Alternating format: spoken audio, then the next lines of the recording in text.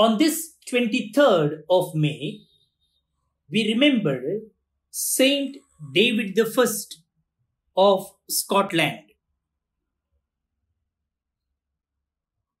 Saint David was the youngest son of King Malcolm III of Scotland and his wife Margaret, who is herself a saint. Although David spent most of his childhood in Scotland, he was educated for some years at the Anglo Norman court in England. When his brother Alexander acceded to the throne of Scotland in 1107, David became Prince of Cumbria. He married Matilda and became an English earl.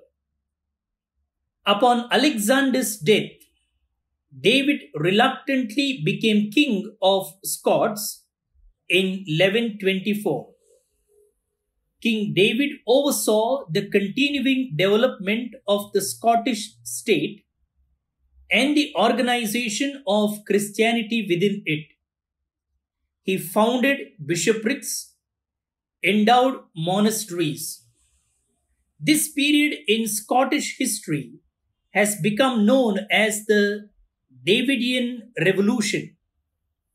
When Queen Matilda died, he gave even more attention to religious matters, reciting the divine office himself each day and giving alms. He died in the year 1153. Saint David I of Scotland, pray for us.